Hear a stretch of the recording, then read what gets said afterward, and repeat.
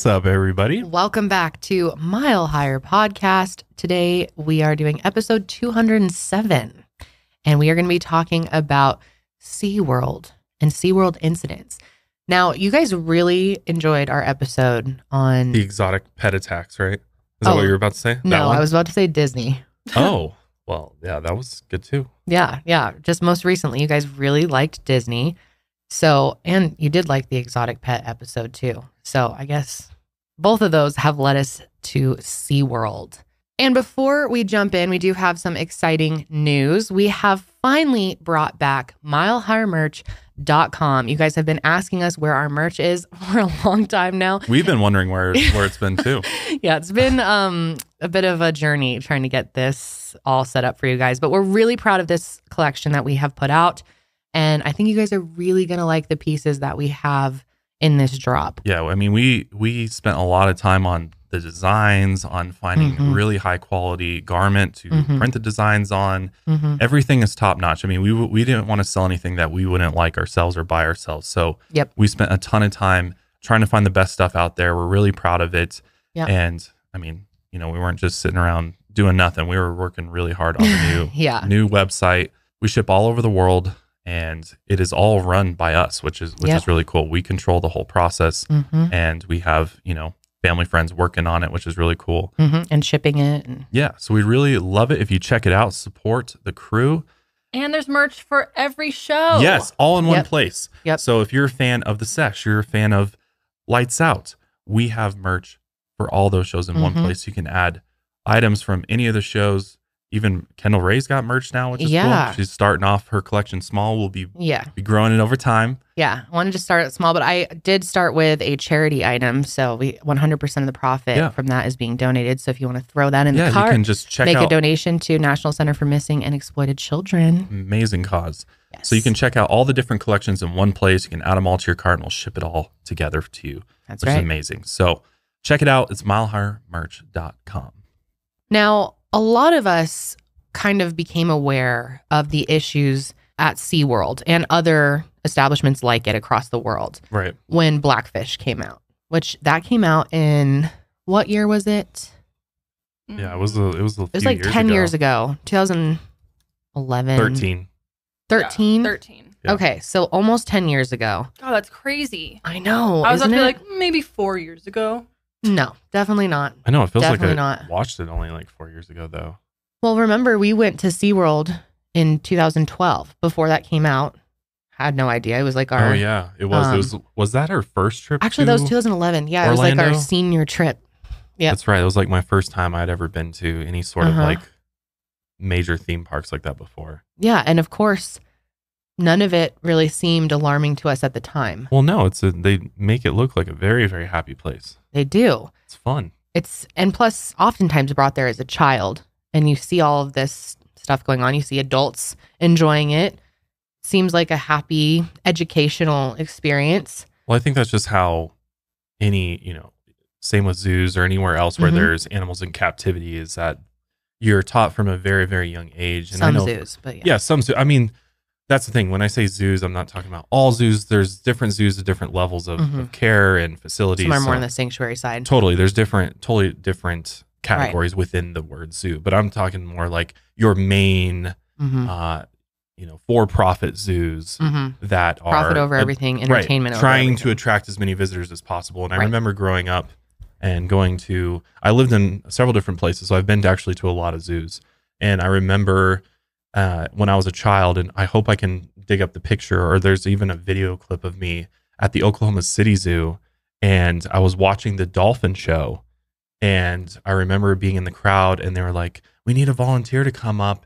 Oh, you were that kid? No, I was. I, I was that kid. I got picked. I was like, "Yeah, me, me, me," and I got picked. And I remember He's proud of it, clearly. Yeah. Yeah, I don't know. and if you ask, it's funny. You'll have to ask my mom about this story sometime because my mom, like, this is like a core memory for her. She loves this this whole story. But I was, you know, how in like most of those big tank areas, they Mhm. have like a little like very narrow walkway to get to Yeah. sort of the stage area where sometimes like this was the dolphin show, and so the dolphins can come up onto this sort of concrete beach like in landing Yeah. Right. to where they can pet them and whatever. And so Mhm. I went up there and I almost like jumped in to the tank with them What? because they made a joke of like, "Do you want to jump in and swim with the dolphins?" And you're like, yeah, and I dude. literally almost like started going forward to like dive in, and they had to like kind of grab me back and like, no, no, no, we're just kidding. And then and then I ended up like petting the dolphins in front of this whole crowd and everything, and I was like Oh. part of the show. big star. yeah, it was a big, it was a big moment for me. Okay, like it was, it's a core memory for me, and and I remember just thinking how cool these animals were, Yeah. and I didn't know all of the other things that you know go into this Yeah. whole show Mhm. and what these dol- what these dolphins' lives are truly like because they really try to present you only the the the good parts, right? Of course, yeah. They try to make you feel like it's a, a happy situation. And, And, that they even like when we being were, there. Like the dolphins Right. enjoy, which the dolphins might enjoy the show. They might enjoy doing the tricks and stuff. probably it's- because it's the most entertaining part of their lives is Right. performing. right, Yeah, it's interesting because when you see the show, obviously they're like thrilled and they look Mhm. happy and they're like waving their little Making fins their, you around. know, and like to the human squeaking and, being, yeah. it makes it seem like, oh, they're having fun too. And in reality, they're literally trained to do this. And in their mind, they could Yeah. be depressed and hating their lives and plotting your death, which we'll get to but later. they're like, if I'm going to get fed, But, yeah. I got to do this. Yes. Yeah. Even when we went, I remember um, at SeaWorld, I don't even know if they have this anymore, but they they probably do.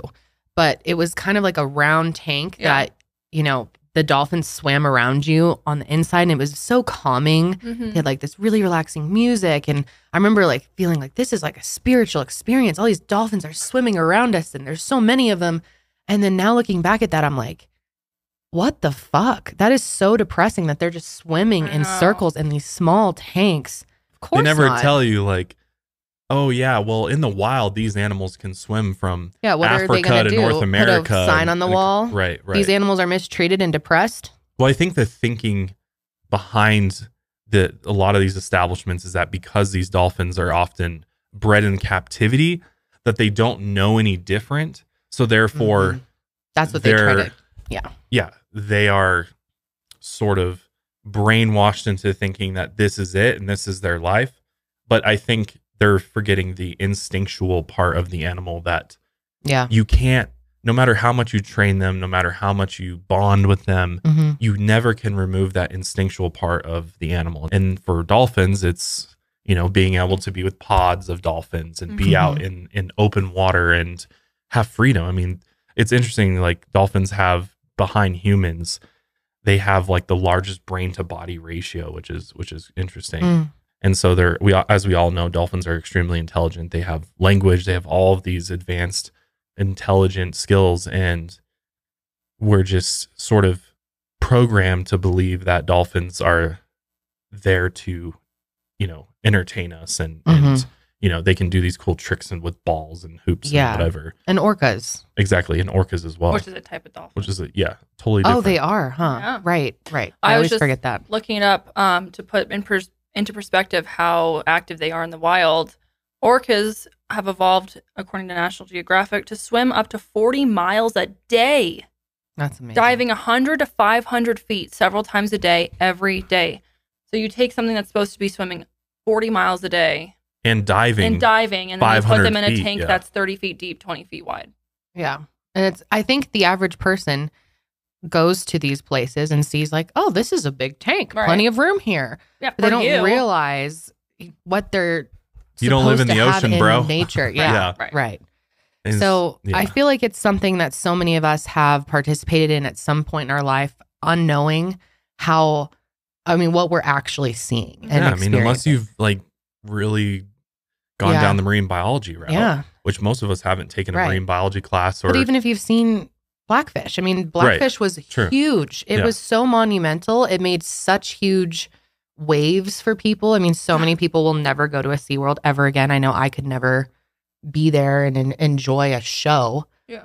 with what I know now, you know? And good thing that there are documentaries like that that exist that educate us because otherwise we just go with what we know and what we see other people doing and seeing the adults around us enjoying and telling us is good and educational and and so much of it goes back to schooling too, like from Yeah. a young age. I mean, education, and this just not just with animals, but it goes across the board for so many other. I mean, history into other, you know, human conflicts and and everything else. There's just so many things that from a young age, all of us were programmed to believe, and Mhm. and it takes something like Blackfish or some type of n- Education. new release of information or Mhm. education to kind of open your eyes to the issue that's right there in front of you the entire time Right. but because you didn't have any of that knowledge Yeah. you never saw it as an as an issue Right. right so and just from personal experience too being there and seeing it you know you're you're only seeing one very filtered side of it and there's so many other sides to the life of of these mm-hmm. animals that you don't see well we're not just going to be focusing on the you know the issues with the animals in captivity but also incidents that occur at places or at SeaWorld and we're going to take a look at some of those over history and you know how's that sort of played into the larger issue at hand so with that being said we're going to dive into SeaWorld Dive in, literally. dive in literally pretty deep too and uncover some of the things that have incidents that have happened at SeaWorld. Yeah, pretty shocking things if you haven't heard. So, if you don't know what SeaWorld is, it's a chain of ocean themed amusement parks in the United States. And the parks also have rides like roller coasters, drop towers. There's also hotels, restaurants, you know, other typical attractions that are all kind of part of one bigger. Yeah, we rode the manta ray roller coaster at SeaWorld. Is that what it was called? Yeah, it was like a big manta ray they had. I Really? remember that being pretty fun. I mean, I they were- remember the yeah. mummy one. They have a mummy one there? Yeah, there was some type of mummy thing. Hmm. Unless I'm just crazy. At SeaWorld? At SeaWorld? I I'm was like, pretty "What?" sure. I'm pretty sure. right, now I got to look Are it are you thinking of uh, Waterworld's mummy ride? It's possible. You know, it's possible. That is not quite Not SeaWorld. the same thing.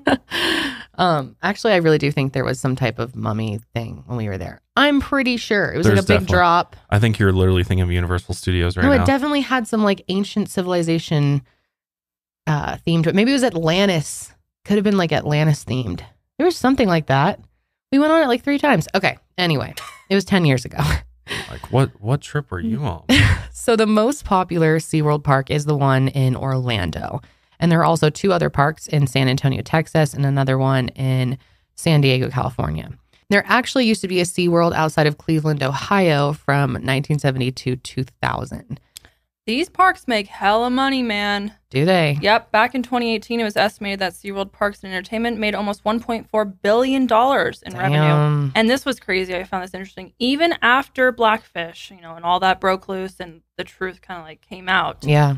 their estimated net worth as of this month is $3.32 billion. Damn. It's almost like they're having a Wow. resurgence, like they're Yeah. coming Yeah. back in a way. Yep. Also, most deaths that happen at SeaWorld parks are related to the rides. But we're just going to be focusing on the incidents today that involved SeaWorld orcas. Yeah, I'll do another episode on just like theme park disasters because Yeah, we could there's do a lot that. of those. I don't know. We'd have to have several episodes for that. Yeah. There's a lot. It's scary. Some- Let us know if you would like to see that. Anyway, these parks are most famous, like we said, for their animal shows. They train captive sea mammals like dolphins, otters, walruses, penguins, sea lions, and orcas to perform for a stadium full of people. SeaWorld is most well known for their Shamu orca shows. And these shows have been definitely the most controversial part of SeaWorld. Shamu was the name of one of SeaWorld's first female orcas. All the whales used in those shows had different names, but they were usually just referred to as Shamu. And during the Shamu shows, the orcas performed tricks, swam around, and at the end, they did famous moves where they would splash the audience. A famous move. The crowd goes wild for Yeah. the splash. Yeah. There's also a little platform in the front of the tank where the orcas can slide out and get closer to the audience. So that's similar. Yeah, that's like what. I was standing on. Almost Right. dived in. Yeah. I almost dived in that bit. okay. I was in Oklahoma. Okay. We say dived in. There they are. So you were on that thing, Josh? Yeah. Man, And you that's was- kind of risky to stick a kid Yeah, up I there. had, What like, if you didn't little know to swim sandals and you on. fell in? Yeah. And why would you joke with a kid and be like, you want to jump in?" in. They're like, "Sure." and back in the day, trainers used to swim with the orcas during the Shamu shows. They would train them to do these elaborate tricks where the trainers would ride on their backs or do jumps with them, and it kind of looked like circus tricks.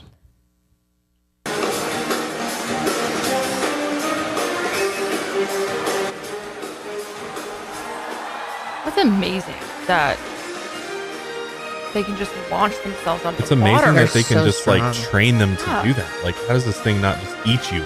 Well, They want food. yeah. I guess if you deprive them of food, that's enough. Yeah. and they give them a ton of fish. And they believe their only part of the point of their existence is to do this. So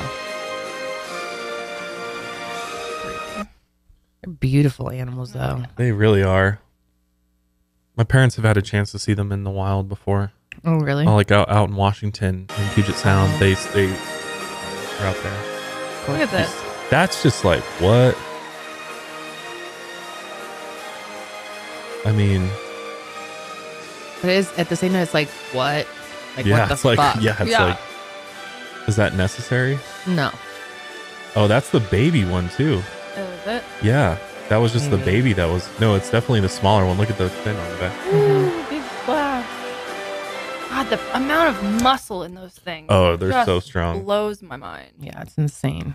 Also, there's this clip. This shows an example of where they pick a kid out to pet Shamu's dorsal fin and give them fish. But those parts of the show were actually removed. And in fact, SeaWorld has gotten rid of all of their live theatrical orca shows altogether. So we are going to go over why that happened. But before that, we're going to do a quick rundown of some orca facts. So orcas are commonly known as killer whales, but they're not actually whales. And like Janelle talked about earlier, they're actually the largest member of the dolphin family.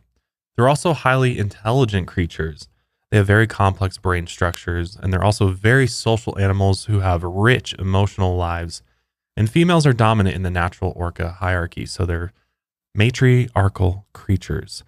Orcas use echolocation, and they have complex vocalizations that develop unique languages and culture between orcas from different areas of the world. Think about that for a second. They have their own language and cultures mm-hmm. within families of orcas in the wild. It's like different accents. Yeah, like there's a French orca versus a Canadian orca. An orca's rostrum is its snout, and its pectoral fins or pecs are its front two flippers. The dorsal fin sits on the top of the head behind the blowhole, and the tail is called the fluke. They really do. If you look at their body structure, they really do have that similar structure to a dolphin. There have been no recorded orca caused human fatalities in the wild. Wild orca attacks on humans are extremely rare in the wild. When they're out in the wild, 99% of orcas have dorsal fins that stand up straight. But in captivity, 100% of male orcas have collapsed dorsal fins that flop over to the side. And you probably just saw that in some of the clips we just showed. That's because of temperature and speed. Captive whales breach or come above the water more since they're performing tricks, and they can't swim as fast since they're in pretty small tanks. So the collagen in the dorsal fin breaks down, which causes it to flop over. Orcas have had a dorsal fin collapse after just one month in captivity. But after they're released back into the wild, it only takes about a month for the dorsal fin to stand up straight again. That's such a wild thing, honestly. It's like a visual sign of Mm-hmm. Unhappiness. Mm-hmm.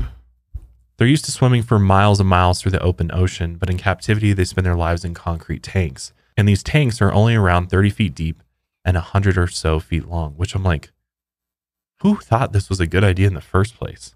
Someone that doesn't give a shit People that about wanna make money? money. Yeah. It's crazy because, like, I don't, I don't know if you've seen the videos of like the world's deepest pool. Have Oh, you guys yeah. seen that? Like, that's I've been that. going viral across. no, the- I haven't. So in Dubai, there is the world's deepest pool, which is 170 feet deep, for just humans to go scuba dive down. And there's Oh, like all these cool places you can take pictures, and uh, there's glass on the outsides of it so people can see you dive Mm. down there. But I'm like, if we have a 170 foot deep pool for humans to just play around in, why do we have dolphins or any sort of captive sea animals in such small tanks? because it's more expensive, more management. it's true. more more main- maintenance. yeah. So it just comes back to money, I guess. Always. In concrete captivity tanks, these orcas aren't able to use the full range of their echolocation abilities. Plus, they're put with other orcas who speak different languages than they do, or they might not get along well with them. Their integral social and family structures are disrupted and are removed entirely, which means that they might become more aggressive with other orcas. But in those small tanks, they can't move away to avoid aggression from other orcas. There's no tank that will ever be big enough or specialized enough for an orca to live a long, happy life. Because obviously, I mean, even if you built a Right. 300 foot deep pool by Mhm. 300 feet, it's still a small tank Mhm. considering the size of the ocean and you know what wild orcas have uh, to swim in. Some orcas in captivity actually show signs of depression, like sitting motionless in tanks, almost like they're floating they're dead. Aggression towards humans and orcas, as well as self injury and just repetitive behaviors. So that leads us to the first incident we're going to talk about, which is the 1971 Shamu incident. And we'll get into that right after this first break. As a High listener, you know the world can sometimes be a scary place. But no matter what happens out there, home should be the safest place there is for you and your family. That's why we recommend our personal favorite home security system, the SimpliSafe Home Security System. SimpliSafe is advanced whole home security that puts you and your home and your family safety first. Here's why we love it. I have the full system from SimpliSafe, which includes a video doorbell. I've got all the sensors, the glass breaks. I've also got indoor cameras in my house, and I have outdoor cameras that attach to the outside of my house. So I have complete 360 coverage. So don't try coming to break into my house because you will not be able to. I will see you a mile away. And if for some reason you do come in, you're going to be met with the loudest siren you've ever heard, and the police will be on the way in a matter of seconds. SimpliSafe offers comprehensive protection not only against intruders and burglary, but against expensive home hazards from flooding to fires. Nobody likes dealing with that. With 24 7 professional monitoring, SimpliSafe's agents take action the moment a threat is detected, dispatching police or first responders in an emergency, even if you're not home. SimpliSafe uses proprietary video verification technology so that monitoring agents can visually confirm the threat in order to get higher priority 911 dispatch, which is really cool. Monitoring plans are affordably priced at a dollar a day with no long term contract or hidden fees because feeling safe at home shouldn't break the piggy bank. You can customize a perfect system for your home in just a few minutes at simplisafe.com slash mile higher. You can get a system for your apartment if you want. Go today and claim a free indoor security camera plus 20% off with interactive monitoring. Go to simplisafe.com slash mile higher. Did you know that one out of six couples struggle with infertility? Seriously, that's a staggering statistic that most people don't know or aren't ready to talk about. But we need good data and information about our bodies in order to have informed conversations with our doctors and make the best decisions for ourselves and our futures. And that's why Modern Fertility was created. It's an easy and affordable way to test your fertility hormones right at home with a simple finger prick. Then you just mail it in with a prepaid label and you'll get your personalized results within 10 days. You'll get insight into your hormone levels, your ovarian reserve, which is how many eggs you have compared to other people your age, and other important fertility factors. And the results go deep into what every hormone means. And then you can download the results and review with your doctor for next steps. Traditional testing can cost over $1,000, but Modern Fertility gets you that same information at a fraction of the price. And if you go to modernfertility.com slash mile higher, you can get $20 off your test. Also, if you have HSA or FSA, you can put those dollars toward Modern Fertility. So if you want kids today or maybe one day in the future, clinically sound info about your body can help you to make a decision that's right for you. Right now, Modern Fertility is offering our listeners $20 off the test when you go to modernfertility.com slash mile higher. That means your test will cost 179 instead of the hundreds or thousands that it could cost at the doctor's office. So get $20 off your fertility test when you go to modernfertility.com slash mile higher. That's modernfertility.com slash mile higher. So the first incident that we are going to be looking at involves the original Shamu. Shamu was captured off the coast of Washington and sold to SeaWorld San Diego in 1965. Back in 1971, Annette Eckes was a 22 year old secretary at SeaWorld San Diego. And one day, Shamu's trainer and a PR director asked Annette if she wanted to do a photo shoot. They wanted her to ride on top of Shamu in a bikini for some promotional photos. And she thought it would be fun, so she said yes. And a bunch of news outlets showed up to videotape this stunt. However, Shamu was only used to working with male trainers wearing wetsuits, but Annette was only wearing a bikini. She was the first woman to ever ride Shamu and the first person to ride without a wetsuit. And those may seem like small details, but they actually make a huge difference. Shamu was probably really confused by the whole situation. Those changes can really disrupt their behavior. Plus, Annette had zero experience working with orcas. It's pretty surprising that they even thought that this was okay, that anyone at SeaWorld even had this idea or thought that they could pull something like this off, didn't consider the risk at all. In the past, two people actually tried to ride Shamu in normal bathing suits a bikini model and a male trainer. But Shamu actually attacked both of them. It's not clear exactly what happened with those incidents, but we know that they happened. So you would think that would have been on their minds when putting poor Annette out there. Shamu had also been acting pretty agitated the past two months. But Annette didn't know about any of that. Everyone reassured her that she would be safe. And at first, everything was fine. Annette got on and Shamu took her for a quick lap around the pool. Then Annette blew her whistle. board and ride this gentle giant. This is a training session filmed as Ann Eckes climbs on the back of Shamu.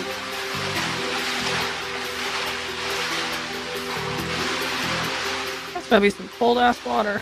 Yeah, seriously. She's like riding it like a bull. They got her hand up. And of course, she's thinking this is a cool experience, a cool opportunity. You know, not having any real understanding for how dangerous laps this around was. the pool. Ann blows the whistle. And Shamu pulls up to the side to let her off. Look how small that pool is, too. Yeah. God.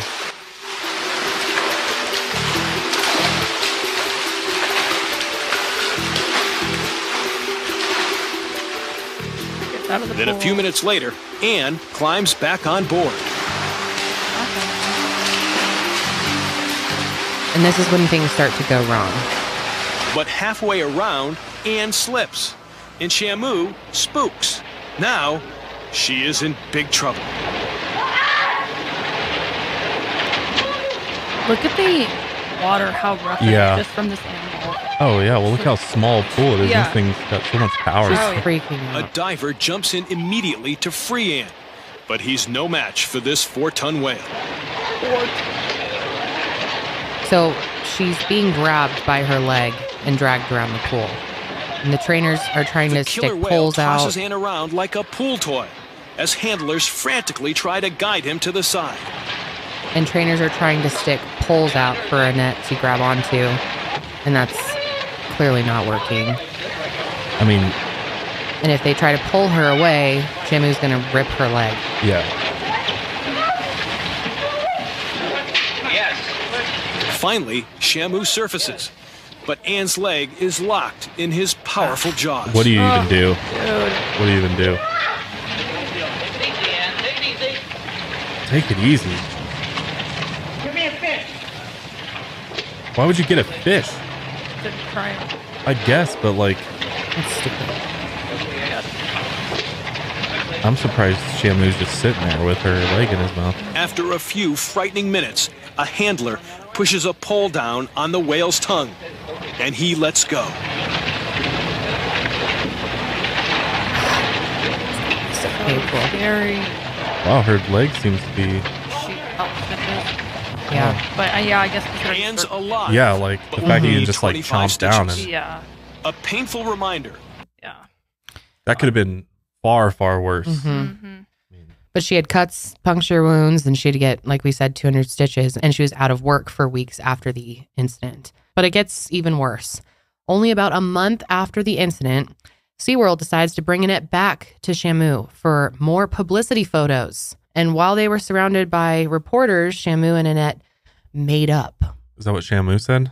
which luckily that didn't go badly. But it's it's just mind blowing that they would even do that. It's all about their image to bring her back out there and you know they want to make sure that everyone gets to hear annette say that shamu wasn't being violent she was only trying to play with her newspapers published photos of shamu giving annette a kiss on the cheek so seaworld's pr worked like a charm and just a few months later shamu actually died from blood and uterine infections and she was only nine years old which is extremely young Yeah, it's so sad. The fact that well, okay, it's kind. I was reading about this. It's kind of debated whether or not orcas in captivity live actually less than the wild. I can't imagine how that would not be true, but I don't know. Some people say it's up for debate. But either way, the uh, study that I was reading showed that orcas live somewhere between 30 to 50 years in the wild and only 10 to 45 in captivity. So their lifespan wow can definitely be Shortened, in Shortened. captivity. Yeah. mm-hmm. which I mean, only that- makes sense. Right. I yeah think I feel like that's an argument that's made all the time for animals in captivity. Like they'll live much longer lives, Yeah. which may be in some cases, but certainly not here. So here's what's crazy: is Annette ended up suing the park, and she won seventy five thousand dollars in compensation. But then SeaWorld appealed the decision, and they said that they weren't responsible for her injuries because riding Shamu wasn't in the scope of her normal work duties, even though they're the ones who fucking asked her to go Mhm. and do this for PR for the park. Anyway, a judge agrees with them, and Annette had to give the money back. It's jacked up. Isn't that oh my god! I wonder if they even covered her medical bills for the injuries from Maybe under the table, Yeah. maybe, but not 'Cause that I we bet know that of. wasn't that wasn't cheap either to get all that medical attention after that. I'm just shocked that she went back. I know. I'm shocked she went back and was even willing to get near. You would, I would Yeah. feel like in most cases people would have Just to make them look good too. never gone back to the, especially the exact same whale that Yeah. just potent, could have ripped your leg off. Mm-hmm. I mean, I'm sure that I'm sure what happened was that the trainers and stuff were telling her, oh, you know, he just was, Yeah. you know, he didn't mean to. He was She, just trying. yeah. She was, you know, she didn't mean to, and was Mhm. just trying to was just playing or something like that, which could have been true, but oh man. But next, we're going to be talking about some incidents that happened a little bit later in 1987. So, 21 year old Jonathan Smith was an orca trainer at SeaWorld San Diego during that time. He was only a college sophomore when he decided it might be fun to work with orcas. He had zero experience, but he was in good shape and can talk well over the microphone. So SeaWorld hired him. As for his training, Jonathan said that it was a learn as you go approach and a trial and error process. He'd only had two months of experience working with orcas when this next incident happened. On March 4th, 1987, Jonathan was performing a pretty typical Shamu show for an audience. He was riding on an orca's back when one of them suddenly grabbed him. Listen to what the little like background noise is saying. It's so eerie. My fear and the fascination. I grow to respect and love the killer whale. Maybe even love one like Shamu or Shamu's best friend, Kandu.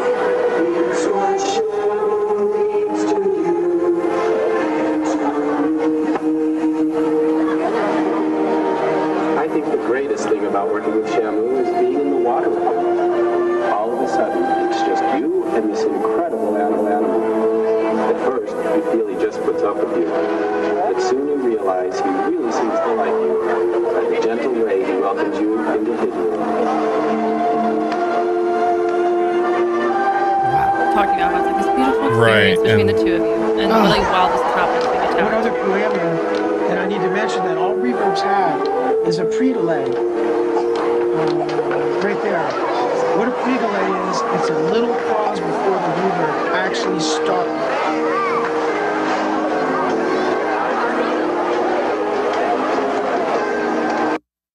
Yeah, That there's- is so creepy. I know. and there's not much anybody can do.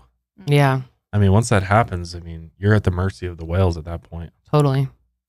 But what happened was the orca dragged him underwater and then back up to the surface.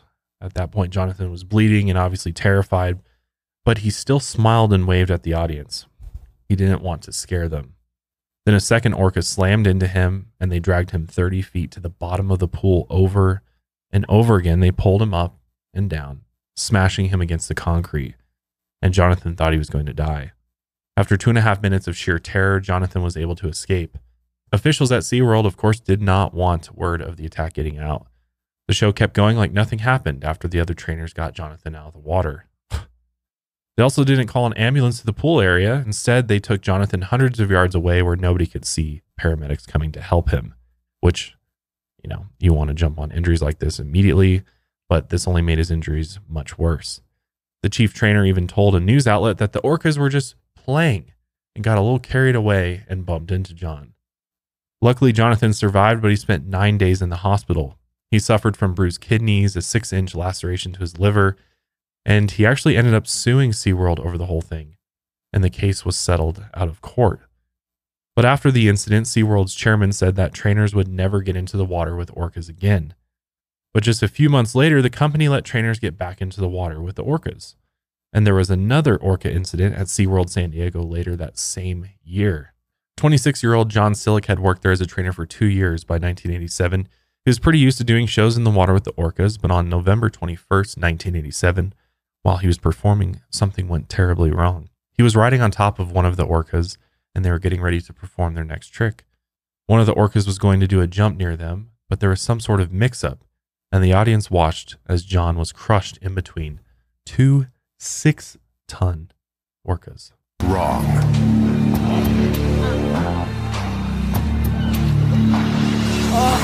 Oh.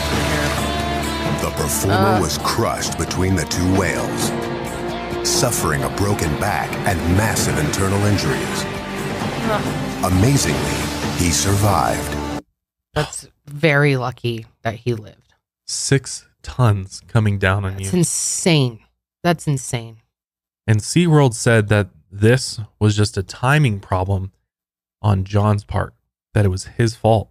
Nice. And they denied that it was an act of aggression from the orca. Yep, of course they did.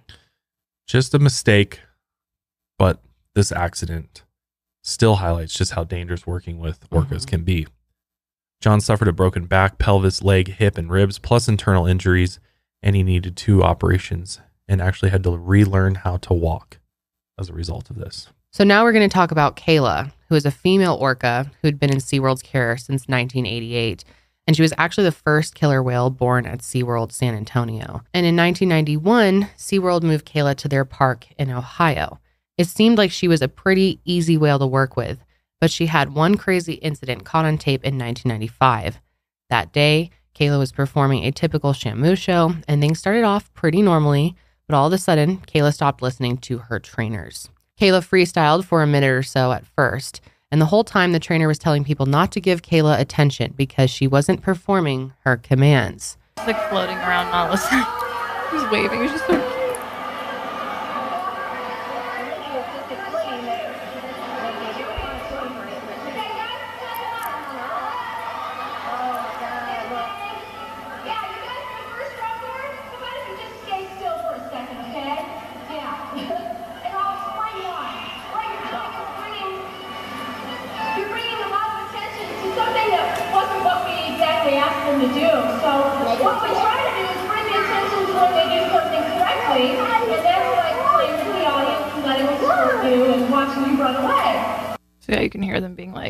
Yeah. "Ignore her. She's Yeah. not doing what she's supposed to be doing." Kind of blaming the audience too. It's weird. Yeah. So then, without warning, Kayla actually lunges out of the water. So she kind of pokes the tip of her head out of the water and touches the barrier between the tank and the audience. And then she slips back into the water. And a few seconds later, she pops right back up. And this time she managed to get her head over the barrier, just a few inches from the audience. Oh. Oh, the kids are like right Yeah. not like petting her. Oh my. You can hear them. like, Do not touch her. They're trying to like stay calm and Yeah. keep everyone enjoying the show. Oh man, that's.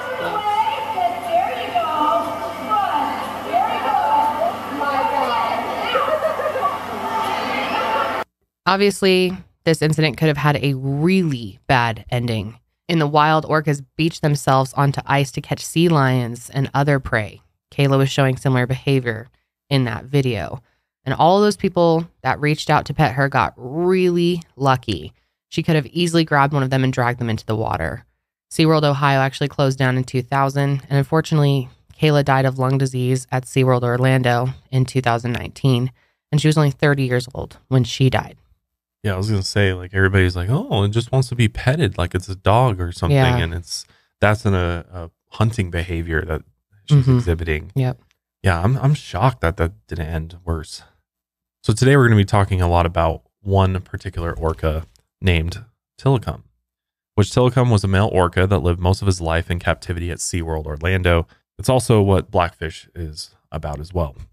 But Tilikum was captured from Icelandic waters in 1983 along with another male orca and a female orca.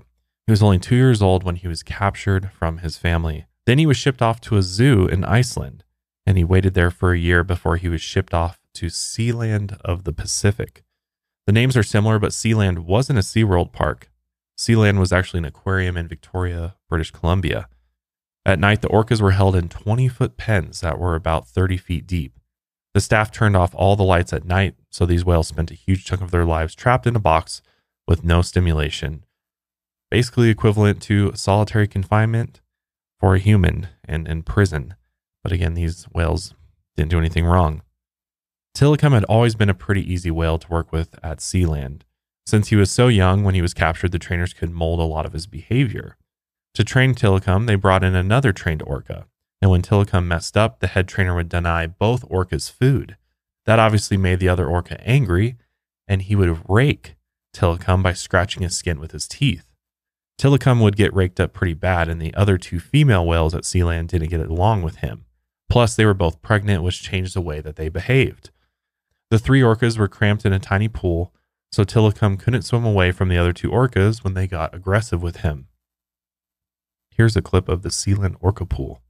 To the killer whale pool, there has been a discussion of Dude, that's the possibility tiny. of putting a, a net across or sectioning off a portion of this pool for the male killer whale uh, Yeah, look at their fins, their dorsal For a number of reasons, this is an unacceptable proposal.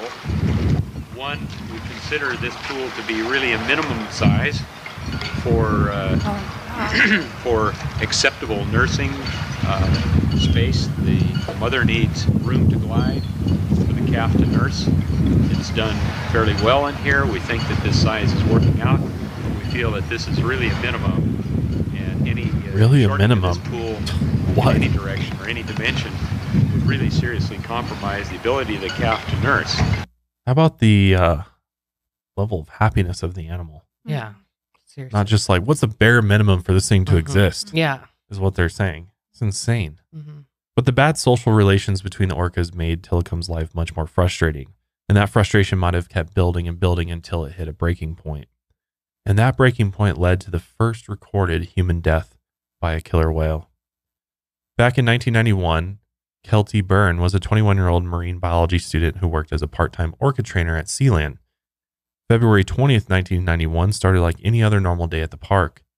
A crowd of people filled up the stadium to watch one of Sealand's famous orca shows. That day, Tilikum was set to perform a show with two other orcas named Haida and Nootka. The show went well, and the crowd was getting ready to leave when something happened. Kelty slipped and fell into the pool. But before she could get back out, Tilikum grabbed her rubber boot and pulled her underwater. Two other female whales started swimming in circles around Kelty. The audience didn't realize what was going on at first, and Kelty started screaming for help, but there was nothing anyone could do. The orca drowned her during the attack. And after that incident, Sealand closed down. They sold off all of their whales to SeaWorld, including Tilikum. And only eight years later, Tilikum was involved in another fatal incident. On July 6, 1999, at 7:25 a.m., a SeaWorld Orlando employee checked on Tilikum and found a man's body draped over the orca's back. The victim was a 27-year-old man from South Carolina named Daniel P. Dukes. The day before, Daniel had visited SeaWorld and he'd somehow managed to stay inside of the park after it closed for the day. And somehow he ended up in the pool that night wearing only his underwear. We don't know if he fell in the pool or if Tilikum pulled him in or if he got into the pool himself, but regardless, what happened next was pretty disturbing. Tilikum attacked Daniel. He grabbed him, threw him around, and caused a lot of bruising and damage while Daniel was still alive. At some point, Daniel died of hypothermia and or drowning. But if we go off of Tilikum's past and future aggressive incidents, it's also likely that he stopped Daniel's attempts to get out of the pool. Daniel suffered a lot of injuries before he died, but after he died, Tilikum started playing with his body. The orca even bit off Daniel's genitals at one point. It was pretty hard for employees to get Daniel's body out of the water, as Tilikum did not want them to take it. And after they finally got a hold of the body, Tilikum got very upset.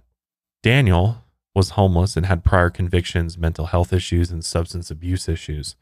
SeaWorld made sure to make that the center of the issue so that they could minimize the story. That way, people wouldn't ask questions about Tilikum's aggressive behavior or the park's lack of proper security.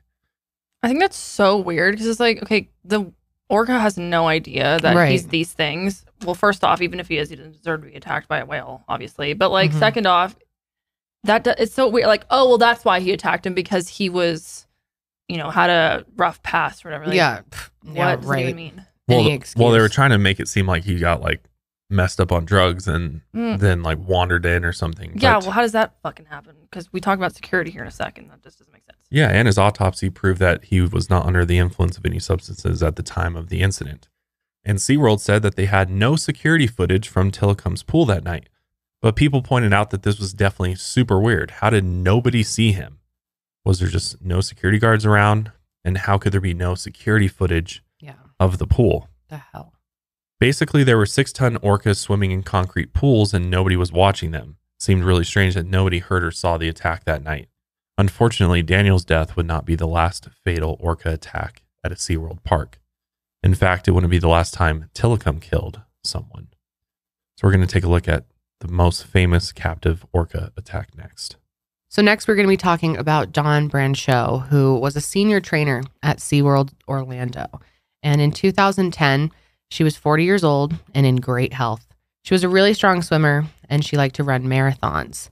When Dawn was a kid, she and her family visited SeaWorld and became her dream to work with the orcas. I feel like that was the dream of so many kids. I definitely went through a little phase like that where I wanted to, you know, be the one like flipping around with the dog. I mean, Mhm. what kid doesn't? Even now, like I'll watch uh, videos on Instagram or TikTok of like people that work at Yeah. rescues Yeah. and who get to Just work get to with like with- cool like there's this Mhm. guy I follow who like works at a a wildlife sanctuary that have like wolves and lions and stuff and he'll Mm. like just go into the wolves enclosure and just like hang out with these wolves and they're like they like love them Yeah. and i'm just like that'd be so cool but also terrifying at the same time Yeah. Yeah, it would. because they are i mean as, as much as you bond with can bond with a wild animal there's always that Still a chance wild that animal. yep Yep. they can go wild Just like what's his face? The chimp, Travis. yeah yeah even your own pet that you raise Yeah. from a young age can turn on you Yep, totally. But for 15 years, she got to live her dream and work at SeaWorld Orlando. And Dawn was beyond dedicated to her job. She was definitely one of the most well respected and admired trainers there. Plus, she was a stickler about safety. Here's a video of Dawn performing actually three days before this incident occurred.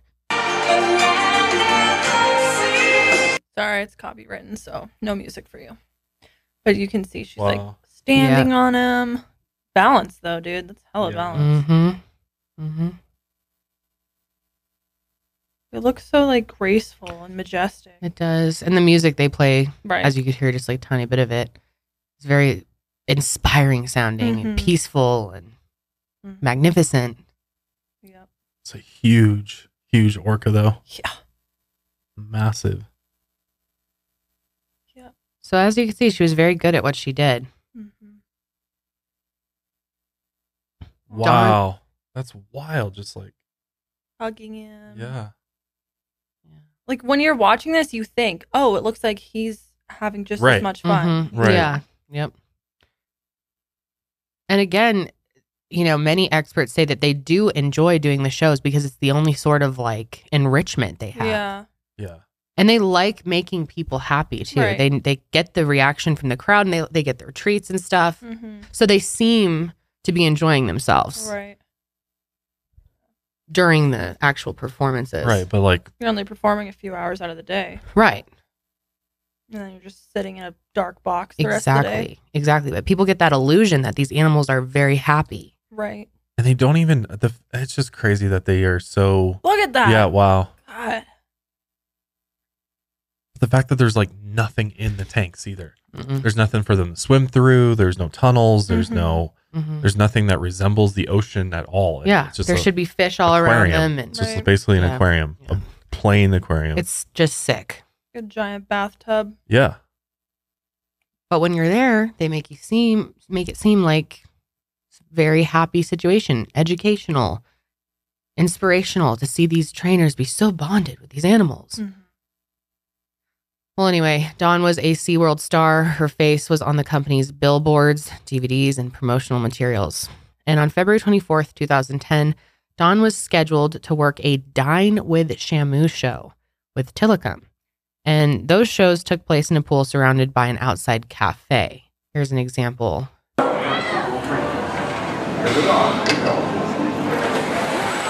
everyone's like eating. everybody, welcome to Dine with Orcas. My name is Munching on their Justin, one of the burrito. here at the stadium. We hope that you've been enjoying your meal so far this afternoon. And So we have American. a great I know. interaction Seriously. planned for you with the youngest member of our killer whale family. Which when you're there, you're like, this is awesome. Right. Yeah. So Everybody wants to dine with is to tell you Shamu. a little bit More about Micaiah as an individual. We'll talk a little bit about killer whales in general. And also go into oh, a lot look more at that, depth it's like as to how fish. we care for and how we teach and train not only the killer whales, but all the animals visit to SeaWorld. That afternoon, Dawn and Tilikum performed their usual routine while guests are sitting there eating lunch. And finally, around 1.30 p.m., the show ended. And Dawn directed Tilikum to swim to the edge of the pool. And there's a shallow ledge that's built on the side of the pool where Dawn is able to lay down in a few inches of water. And Tilikum floated next to her a few inches away from her face. And it was time for their quote relationship session, which is some time that they set aside to bond with the orcas. How could you? I, I just like don't know how you how you would ever feel comfortable like laying down with your head next to a killer whale's mouth. Like, Yeah, I mean, there's like always that risk there, right? yeah, I mean, they kill other. I mean, they're a, an apex predator of the ocean, Mm-hmm. and it'd be like if you got a great white. If we could train great white sharks. oh my lord, that came out so wrong. Let me rephrase great white sharks. Oh my god. Oh man, it's been one of those days. But you know what I mean? Like, if you could train great white sharks, I'm so immature. great white sharks, Yes. would would they do it? Would they swim with great white sharks if they could train them not Yeah. to not to attack them? Probably. It's like, but even if you can't, could train them, there's always a chance that they're Right, They're going to ditch right. that training, and something instinctual is going to kick in. And It's the same vibe of like the circus and people running around with fucking tigers. True. Yeah. Yeah. And then they Mhm. get mauled by them randomly because something sets them off. yeah, or Tigers are killer animals. yeah, or even elephants. Yeah. Remember that Yep. Oh yeah, yeah. yeah. Oh, I forgot the name, but I know exactly the one you're talking starts about. with a T. Tyke. Yep, that's a horrific story. It makes me so upset. I've covered that before. Maybe we will do something similar to that or talk about circuses in the future on Mile Higher. But yeah, I mean, there's just always that chance. But when you're working with any type of wildlife, I mean, I look at Steve Irwin. Mm-hmm. I think he always knew that there's a risk with the work that he did. Yeah. But it's like your passion for these animals kind of Mhm. overtakes that. Yeah. And I just realized the reasoning for why great white sharks aren't in shows or have ever been in shows is because we, we've never been able to keep a great white shark in captivity alive. Right. Like there's some there for some I, I can't remember the exact reason, but Yeah, we were to- told that it is. great white sharks Somewhere. can't be kept in, in captivity; they just die. Right. Um, and it's and they have also their obviously their predatorial instinct is Mhm. seemingly a lot higher than uh, a killer whale, but which Yeah. seems hard to believe, and maybe that's not even true. But um, if we could keep great white sharks in captivity, there is Oh. a possibility that they might be trainable. And would any trainer probably there'd be? I mean, there's tra- Hell there's yeah. people that swim with Oh, yeah. sharks, so I'm sure there'd be There'd be trainers laying next to a shark. It's just crazy to me that they're willing to get so close to these apex predators that Yeah. could turn on them at I any know. point It's wild. and trust them to that point. So Dawn and Tilikum are having their relationship set- session, and she's petting Tilikum and talking to him while the lunch guests, you know, are starting to walk out of the venue. Meanwhile, a group of guests were gathering below the cafe deck, and the lower level had a glass viewing area where guests could see inside the tank. After the show, Tilikum was going to swim down towards that viewing area for a photo op.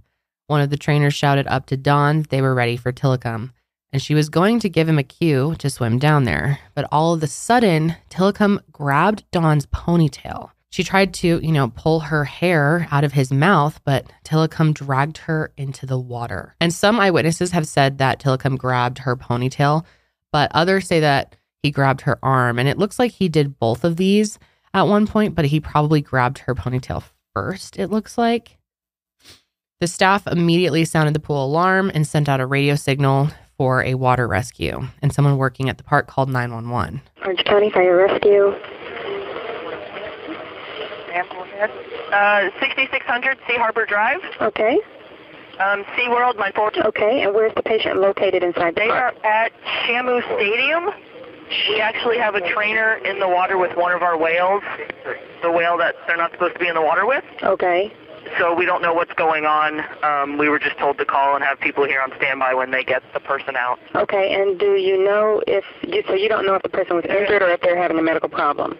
No idea. Okay, very I, well I don't, I don't even think they're out of the water yet. They're still in there with the whale. So Terrifying. Okay, but someone is on scene and they are getting them out of the water now. there are people working on it. Yes, there's about uh, two, three dozen people over there right now. All right, we'll get somebody en route. Okay, come through gate number three to Shamu Stadium. Gate three. Gate three. All right, got it. Okay. Thank you. Thank you. Bye. So while they're trying to get Dawn out of the water, they are slapping the top of the water. And this is a signal normally to the orca to release the trainer or whoever, whatever they're doing to release. But he just ignored all of their commands and kept pulling her deeper and deeper under the water. And she's trying to swim away and fight as hard as she could. But horrified guests are just standing there watching as she's fighting for her life. And they're just standing there seeing all of this Through from the the, glass, glass, yeah. viewing. Yeah. Crazy. At one point, she was able to break free and she tried swimming to the water's surface, but Tilikum slammed into her. Then he grabbed her by her arm and dragged her back down. And more and more staff members started rushing to the scene. They tried to deploy a weighted net to separate Dawn and Tilikum, but it wasn't working. He would not let go of her. And tragically, Dawn ended up dying in this attack. And we actually have a small clip of one of Dawn's best friends who worked at SeaWorld. And when she heard about the attack, she ran to the pool and saw something horrible. um, Tilikum, the whale, had Dawn. Uh, he had Dawn in his mouth, holding on to her, and they had deployed a net. They had all, What part of her body could you tell? at that point, it looked like sort of her torso because I could see her head, Okay. and I could also see that her hair was missing. Okay. So, um, as I was running up, or no, that was afterwards. So I saw that her hair was missing. Um, I saw, and I wasn't in a wetsuit. I was in my street clothes from the other stadium.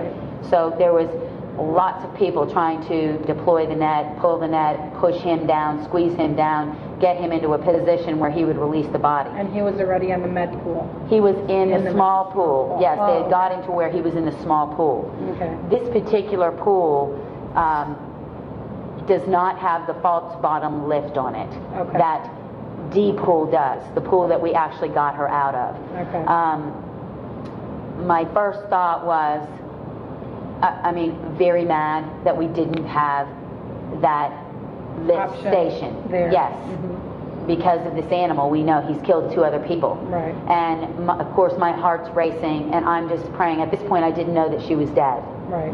And Jim Atchison was right there. I saw him right there, and I grabbed onto him, and I just started to pray.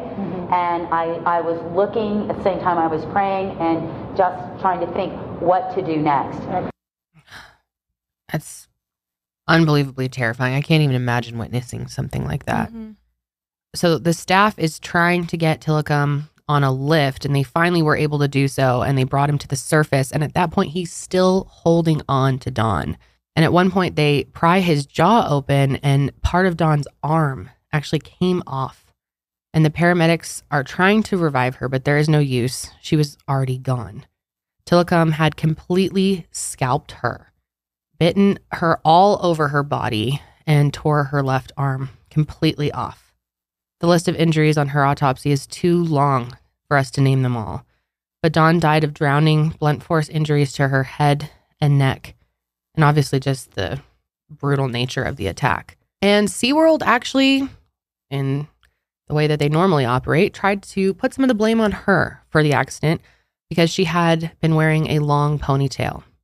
A SeaWorld executive even told a reporter that Dawn would agree that the accident was her fault.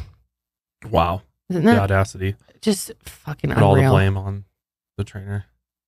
But a lot of trainers wore their hair in ponytails at SeaWorld, and plenty of them interacted with orcas the same way that Dawn did before she died. So it's disgusting that this company tried to then shift the blame onto her, but not surprising, sadly. And even after all of this, killing two people, Tilikum still went back to performing live orca shows at SeaWorld. But after Dawn's death, SeaWorld banned trainers from swimming in the water with the orcas. Yeah, and then in uh, 2017, Tilikum died. Yep. Because he was being treated for a quote persistent complicated bacterial lung infection. So, Yeah, and if you want to know more about Tilikum's story, Blackfish really covers that well. Yeah, which it's it was on Netflix for a while, but it's Yeah. it's only on Tubi, I think now, or I'm Mhm. sure you can buy it on Prime Video or something like that. Yeah, that one fucked me up for a long time. It's just really puts into perspective the reality that these animals are facing. It's horrible. All right, we're going to take a quick break and then we'll be back to talk about some more incidents that happened in 2006. Isn't it crazy that in 2022, we've got high speed internet, celebrities going to space, and electric cars, and yet people are still cleaning their butts with the nasty paper that they call toilet paper. Step into the 21st century today and upgrade your bathroom routine and start washing your butt with Hello Tushy bidets. Because smearing your business around with toilet paper is so 100 years ago. Join the future, people. The Hello Tushy bidet attachment washes your butt with fresh water for a way better clean than toilet paper. You simply spray and then just pat dry. The Tushy bidet attachment attaches right to your existing toilet. You don't need an electrician or a plumber. In fact, a monkey could do it. It installs in less than eight minutes and it cuts down your toilet paper use by 80%, saving money and paper waste.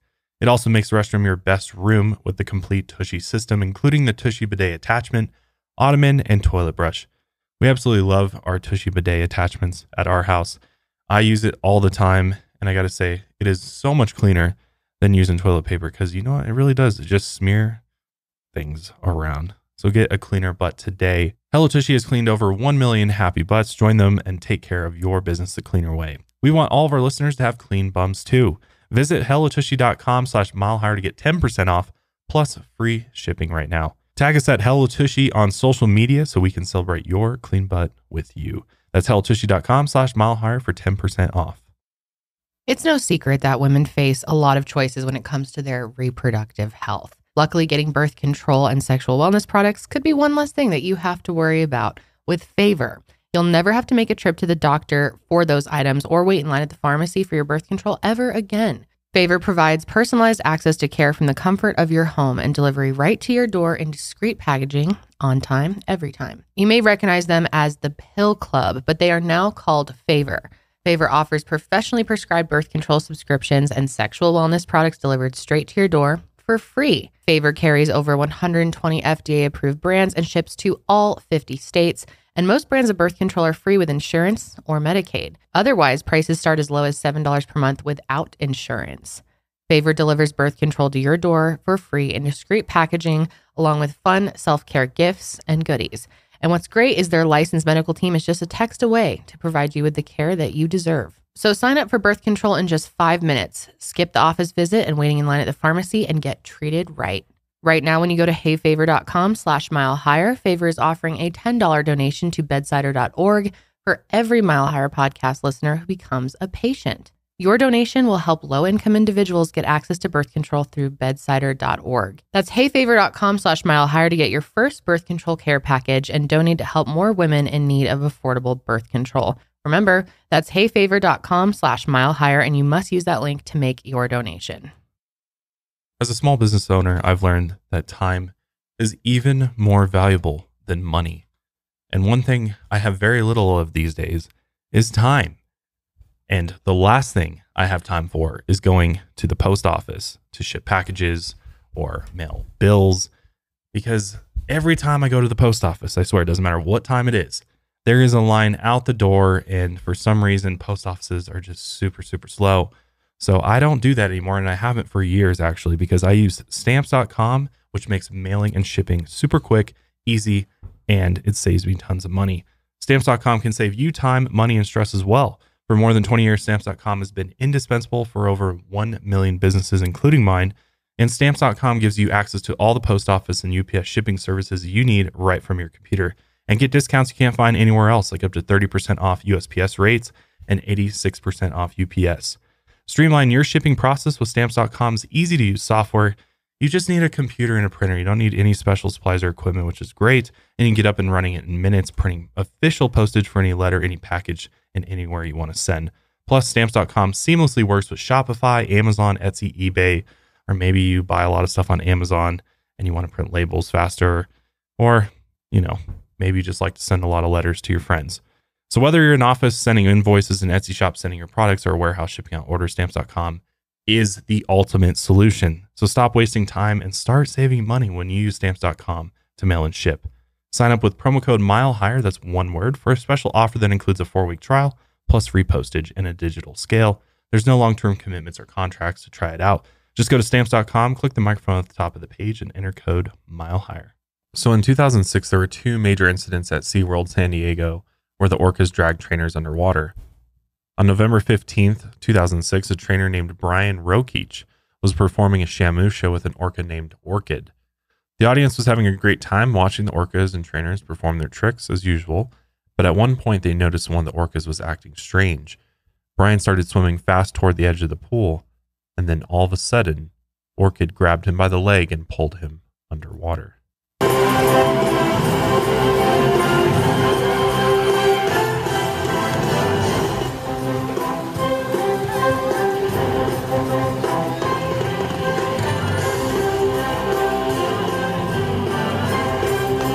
Look at them all slopping the water.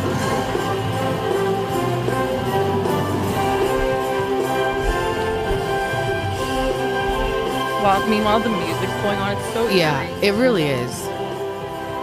You would think that'd be part of the safety protocol to maybe cut the music. Yeah, for real. But I don't think they want to. They don't want to scare people who are watching. Yeah, and maybe that would make uh it would be even like it'd be More different for the Yeah. orcas too. Right. Maybe it would trigger them even more so. But it's it's very unsettling to listen to that music while this type of Yeah, and they're trying to like distract them with fish and stuff so, so that he can swim out. Yeah. Wow, he's super lucky that they released. They're probably just bored. They're like, I'm just tired of doing the same old stuff every day. And they're probably, I, I wonder if they even have the intelligence to feel like they're being taken advantage of almost. Or They like, could. They you know, could. like they're be angry. anger. They're like, it's because it's, it just, it seems like in the way also that some of them have killed before humans that it's like almost like trying to teach a lesson versus Mhm. it because they could kill you so easily in like seconds. They could just Yeah. put you in your mouth, snap you in two, and be done with it. They But could. but the way that they do it's almost like trying to send a message. I don't know. That's just my take. I mean, you could be right. Could be wrong, but I don't know. That's that's an interesting point. like they're It's so possible. intelligent that they're like, look at what I'm Yeah. doing. Like they they are probably way more intelligent than we even. although they in the wild they do play with their prey too. They do. They do. So maybe that's just an instinctual thing. They like to just. Mhm. I mean, they literally like torture their prey before they. Yeah, they do. Eat it. Mhm. They flip seals out of the water and. Yeah, so maybe that's Yeah. just normal whale behavior, or yeah, or- most likely that would make more sense. Mhm. So Orchid ended up holding Brian underwater for 26 seconds, and as you saw in the clip, the trainers are trying to slap the water really hard, which is supposed to signal the orcas to come to the front of the stage. And finally, Orchid let go of Brian, and he was able to swim to the edge of the pool and limp off of stage. Luckily, Brian's only physical injury was a torn ankle ligament. But after the incident, SeaWorld made it a rule that five trainers must be available during shows where trainers perform in the water with orcas. But only two weeks after Brian's incident with Orchid, there was another incident at SeaWorld San Diego. And this time it involved a female orca named Kasaka and trainer Ken Peters. Ken was the most experienced orca trainer at SeaWorld San Diego, and he was very well respected among the other trainers. And obviously, he was very good at his job. So on November 29th, 2006, Ken was performing at a showing of Believe, if you remember that, with a crowd of about 500 people. For that performance, he was going to be working with Kasaka. Kasaka had been kind of stressed out before the show. She was sharing a backstage pool with her two year old calf, Kyla.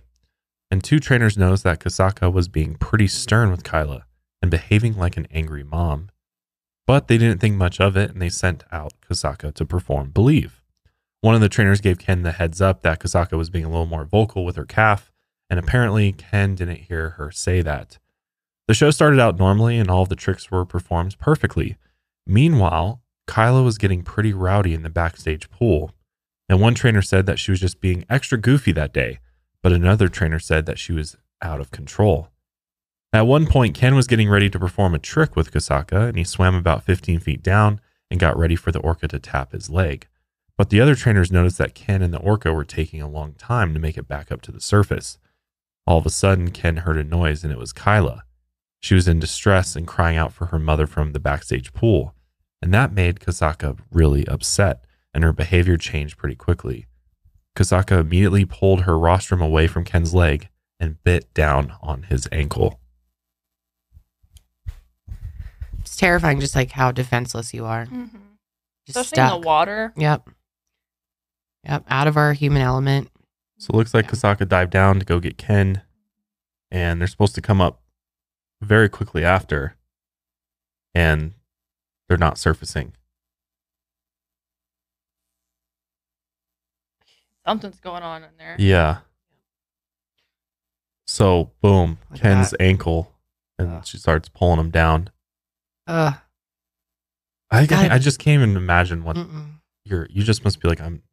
yeah. I'm the done. Things going through your Mhm. mind and the people around Right, the tank, right. the other trainers. Like, Like, uh, what do you even do? Slap the water? I mean, Yeah. So they're the trainers are trying to slap the water at the top, but it's no use as Kasaka dragged him to the bottom of the pool and wouldn't let him up. it seems like they don't give a damn once they're like in this mode. Mm-hmm. Yeah. I mean you you're just powerless. You can't do anything. They finally come up for a second, but still holding on. At this point, Ken was starting to breathe very hard. He knew from his scuba diving experience that he needed to get as much air in as possible in case Kasaka dragged him back underwater again. And sure enough, that's what happened next. Kasaka dragged Ken back underwater. After about a minute, she slowly brought him back up to the surface again, and everyone watched helplessly as the orca held on to Ken, and they didn't know what was going to happen next. There was a protective net that separated the tank from the slide out stage area, and once Ken hopped over it, Kasaka noticed that he was swimming away, and she actually turned around and tried lunging over the net to get him.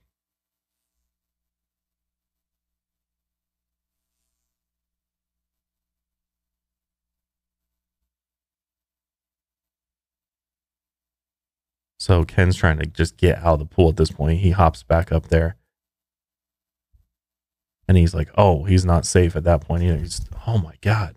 Knows that Kasaka is coming back up. God, got to be absolutely terrified.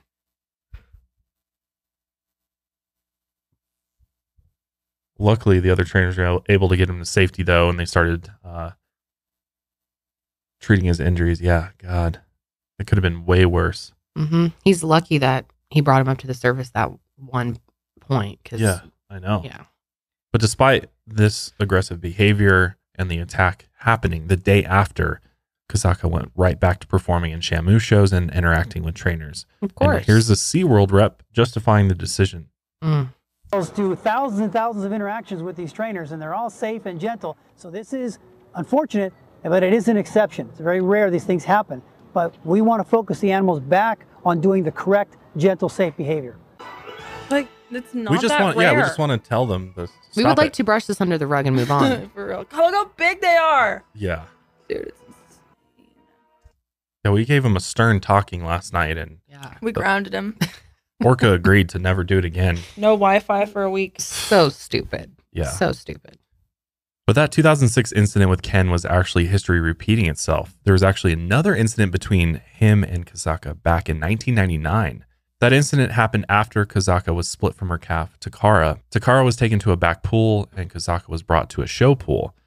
She's clearly a very protective mother, and the separation between her calf really stressed her out. So she started to swim really fast around the edge of the pool, and then she grabbed Ken's leg and tried to throw him out of the pool. And luckily, Ken was helped out of the water by another trainer. After the incident in 2006 with Ken, OSHA warned that swimming with orcas was dangerous. They said if someone hasn't been killed already, it's only a matter of time before it does happen. I mean, it just is crazy. They know that when they separate Kasaka from her calves, that she displays this aggressive behavior Mhm. because she's pissed.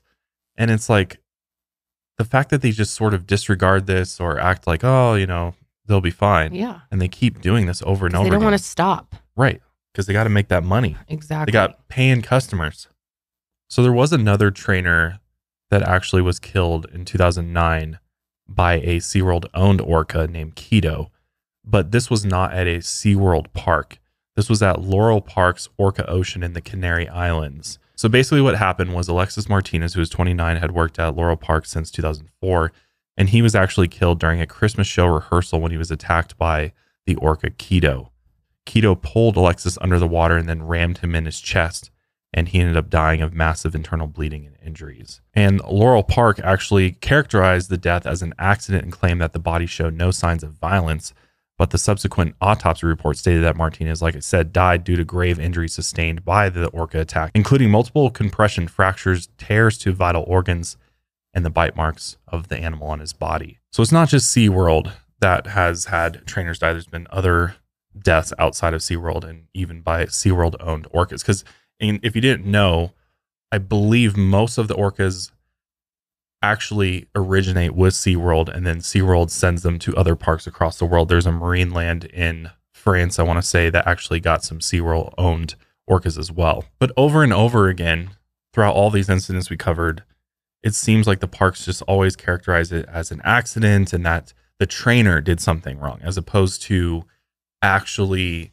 looking at the incident and, and realizing that the animal did something, you know, reacted in some way to something that Mhm. they likely had control over, like Right. separating the calf from his mother, Yep. um, and not recognizing the imminent danger that the trainers are in, or the trainers not recognizing it, Yeah. or not having. It seems to me like there needs to be somebody like watching over this at all times, like some sort of safety individual that sees those signs and immediately pulls, you know, stops the show or something like that. The fact that they don't, I think like it happens so protocols. fast that they really can't I even. guess so.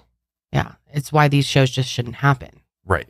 But they notice the behaviors before the shows even start. But rather than be safe, Yeah. they just No, keep the show got going. it. The show goes on, man. Yeah, the money's got to so. flow. So, like we said, Blackfish came out in 2013. The park's profits dropped, and SeaWorld immediately set out on a PR campaign to try to repair their image. But by that point, the public had already began to really turn on SeaWorld. In 2015, Steve O, who I love, Steve O. He's amazing. Protested SeaWorld in a crazy stunt where he actually illegally climbed up onto a 100 foot crane and he held up an inflatable Shamu doll with the hashtag SeaWorld sucks painted on it and shot off fireworks. I can't believe that was 2015. I know it doesn't feel like that long ago. No. Like just the other day. Uh, seriously. Or did he do another one recently? I'm pretty sure he climbed on something else recently. Oh yeah, he did. He climbs on shit all the time. He's amazing. Love that dude. I'm gonna be really high up in the air, like. A lot of climbing to do. Sammy's getting filled up. We definitely have their attention. How many cops do we have? It's pretty gnarly getting out here. Oh my god, that's fucking terrifying. It's really creepy walking along that. It's really creepy. All right. that is a lot. A lot. Fire trucks. That really does feel like yesterday. That was 2015. That's crazy. I can't believe that. So Steve O did get arrested for this and was sentenced to 30 days in a county jail. Worth it. And then the year before that happened, he actually got a traffic ticket for climbing up onto a street sign and changing it to say SeaWorld sucks. So in 2016, there was a bit of a win. SeaWorld CEO announced that they would be ending their orca breeding program. And this hopefully means that this will be the last generation of orcas in captivity at SeaWorld. They also seem to be moving away from the Shamu branded stuff because of all the incidents with Tilikum. And it looks like they're trying to figure out the future of these parks long term since there won't be live orcas there to perform. SeaWorld Abu Dhabi is scheduled to open in 2022, and the park won't feature any orcas, but it will have other marine animals, which there's a whole conversation to be had there as well. Because it's not just the orcas who suffer in captivity, dolphins and other intelligent marine mammals who are trapped at these theme parks suffer too. Plenty of dolphins in captivity all over the world are forced to perform and swim with paying guests.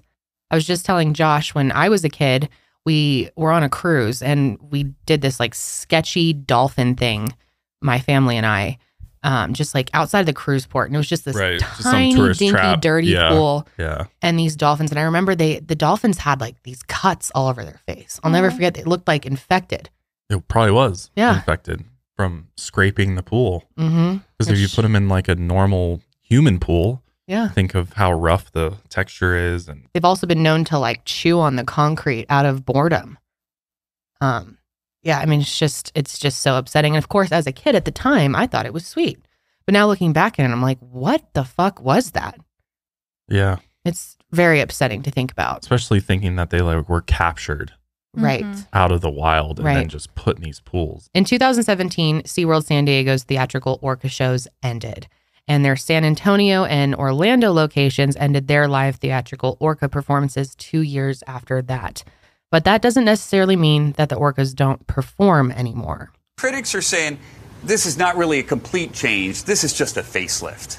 Is it in the same theater it was before? Yes. It's in the same space. But the experience and the subject matter and the behaviors and the things you'll see the whales doing, that's all changing.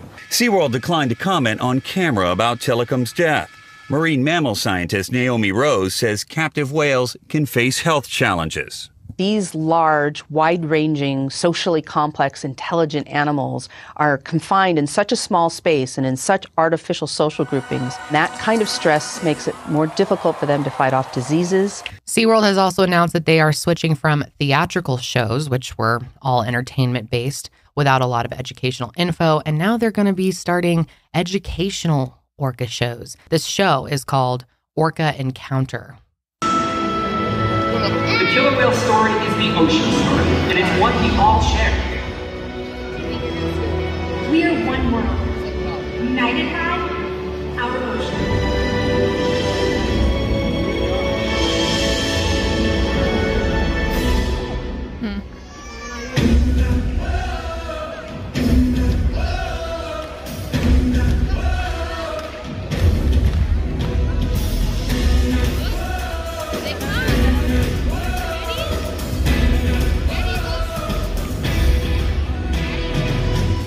So, obviously, this is an attempt to try to repair their image and make people feel good about seeing these shows. But these educational shows still have live orcas performing tricks and having close interaction with their trainers.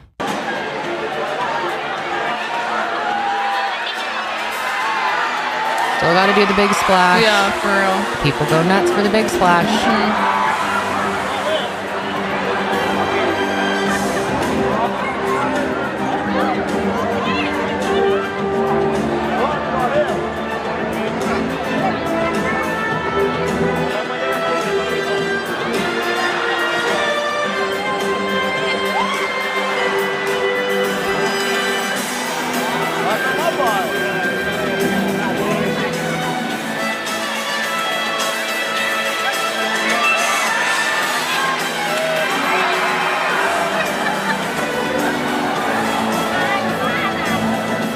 And they're also showing videos of wild orcas swimming through the ocean during these shows. And they're talking about hunting, echolocation, all of that. But it's obviously incredibly ironic considering their own whales have been denied all of those freedoms and are right in front of these people suffering.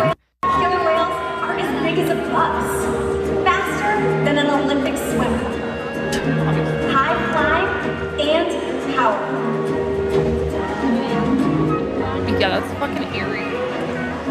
Look at it in Yeah. the wild. That's like sadistic. And more. These behaviors contribute to an environment full of enrichment. And here's our whales that are in a swimming pool. And obviously, we have focused today's episode on SeaWorld specifically, but there are plenty of other marine parks that breed orcas for live shows all across the world. And there are a lot of parks that use captive orcas in their shows, not just SeaWorld. There's an orca named Lolita who's 56 years old and has spent five decades alone in captivity at the Miami Seaquarium. She is the only other orca in captivity in the United States outside of SeaWorld parks. She's recently been retired from performing, but like the rest of captive orcas, she'll probably spend the rest of her life in a concrete tank. Which here, like the thing about this too is a lot of people say, well, these captive, you know, these orcas who have been bred in captivity, what like what do you want us to do with them? Just put them back into the wild. And I, to some extent, I do see that they don't have, you know, especially those born in captivity, they don't have those skills necessarily that they would acquire as a young orca in the wild. And so if you throw them out into the wild and release them, are they going to survive? No, because they've never had to fight for their own food. They get fed. Like they don't have those Mhm. natural survival instincts. Plus, they've been in a filtered aquarium tank for their whole life, so there's likely bacteria, other types of illnesses they might get out in the, in the ocean, Right. That would kill them as well. So it's it's difficult to, you know, I'm glad captivity breeding's been done, but those whales that are still alive in captivity, it seems like the only thing they can do is just have them live out the rest of their life in captivity. Mhm. Hopefully, we just stop the next generation Yeah. of whales being born in captivity for entertainment purposes. Yeah. Unfortunately for them, we're too Right. far deep. Right. That's the only thing that we can do. My other my other thought too, and my own my own personal opinion on the future is, I think you know talking about where do these parks go from here with Mhm. uh, animal encounters and things like that, and I, I think we're starting to realize, and as technology evolves, that we don't need to use real life animals to educate those and have a cool Right. experience because now with technology, Yeah. we are able to do really cool things. I want to show you two videos that are pretty cool that could kind of give you an idea of what the future looks like, especially for um, zoos potentially, other types of animal encounters. You know, it's one thing to go see animals in a sanctuary with large spaces and they're Mhm. not contained within the small area so that people can be guaranteed to see them that day, right? Right. And there's lots of animal sanctuaries. There's lots of animal sanctuaries across the world that that put animals on acres and acres and acres. Um, there's a big cat one here in Colorado where Mhm. they're on this huge, huge area of land, and and that's a lot different than putting them behind glass and having people walk by them every day. of day. course. And most of them are rescue animals. Right. too. And, and obviously, in some species, they wouldn't survive uh, without being in captivity because they're that close to being endangered for Mhm. various reasons or Right. um, things like that. But especially those super intelligent animals on the planet, like elephants and uh, orcas, whales, uh, dolphins, things like that. So check out this video. Um, if you'll pull it up, Janelle, type in 7D hologram uh, whale on YouTube. And this will give you uh, a kind of a cool idea of where we're going with holographic technology that we could create animal encounters that that look real. Is that it? Yeah. Oh, That's wow. holographic? Yeah, That's 7D cool. Wow. technology in Dubai, Poland, and Japan. There's Wow. some of the different clips. But yeah, That's that's, amazing. A, isn't that Pretty cool? realistic. Right? Yeah. And then they can do elephants, um, Oh wow. pandas, 7D. Okay, this music is driving me. Yeah, I was to say. Yeah, it's really bad. Look how cool that is, though. That's amazing. Especially for so kids. Like, if you want to educate Yeah. kids, why not just do a where you can get up close and personal Yeah. with a hologram of the, the animal? danger. yeah. Yeah. And without the suffering Right, of the animal. Right. Yeah, of course. Like, look how cool that is. Wow. That's sweet. And it's only going to get better and better as time time goes on. With uh, there's one, Yeah. yeah, the giraffe. And you can predict what an AI creature is going to do. Right. Well, nobody's going to Program get it. hurt. Right. Aw. There's no, yeah, you don't have to feed it. Polar bear. Yeah, look how cool wow. that is. That's amazing. so they can make these holograms life size and have them do different things to to showcase different educational elements of the animals like Wow. i mean that's super cool it's you know that baby's gonna be okay because Yeah. of that giraffe Yeah. the elephant look how cool and that those is. kids are learning. yeah Oh yeah. right Totally. about obviously about the animals, but also about how to how to make sure they're not a, Abuse. continuing the generations of abuse Right, that we've right. you know sadly contributed to all of us in the Little past penguin. years. Wow, that's so cute. and then recently uh the band Phish had whale swimming this looks so cool and it was drones that created this illusion that everybody's in this tank and there's these giant almost like blue whales swimming above your head Oh, did I you saw see that this. Yes. See how cool this is? Yeah. Wait, yeah. I want to see it. Yeah, I don't Yeah, think you you can play the audio. sound. Yeah, but um, this was really cool. I saw this. I was like, oh, I want to be at a show like this. Yeah. They have these like, Oh wow. so sick. I believe it's drones that are doing. Yeah, it this. was. Yeah, What? which makes no sense. Yeah, I'm like I but can't understand that. That's cool. Yeah, there's actual whales too at one point. Uh, yeah, look at this, Whoa. and you're seeing this like we're seeing this. Like you're That's looking above your head and you're seeing these like This giant is creatures, sick. Also And- trippy. right? Because you get to- fish- Right. People Yeah. do a lot of things at Oh Phish. yeah, Phish concerts. Oh yeah. If you're- if you Probably know like- So you about get an enjoyable experience, get a kind of get the entertainment of animals without any animals suffering. Right. That's and so they cool. move in such a natural way. It looks like they're swimming through the air. Yeah. And so it's like, wow. I feel that as technology improves and this world of AI, AI is both terrifying, but Yeah. also cool. yeah, at the same terrifying this last week with the Google stuff. I don't know if you guys have seen that. Google AI is alive. Holy well. shit. I'm terrified. I kind of want to do an episode on that, but I'm also like, I don't know. It's bringing me too much anxiety while I'm pregnant. So doing that. Actually, Anyway. the AI is not sentient. That was a Google engineer, I believe, who claimed that, but Yeah. they're saying that's not actually. Well, some people are disagreeing with Oh, it, but we'll have to dive. Maybe we dive back into the world of AI again, um, and where just technology is at right now. yeah, But- maybe after I have the baby though, because my anxiety is really high these days. But yeah, But that that's just the one solution I think these parks could move to. Obviously, this is going to be very expensive to implement, but at the same time, you'd think they'd they'd save so much money on the Yeah. maintenance and and food. I mean, just the mere amount of Mhm. food they have to to pay for to keep all their animals fed. All the water, Yeah, the water that they the have to treatments of the water, the vet bills. mm-hmm. and you can still have rides and other other types of you know fish and Yeah. What if you, know. could build a roller coaster that goes through like the orca tank? You know, like think about Right. the King Kong ride at Universal.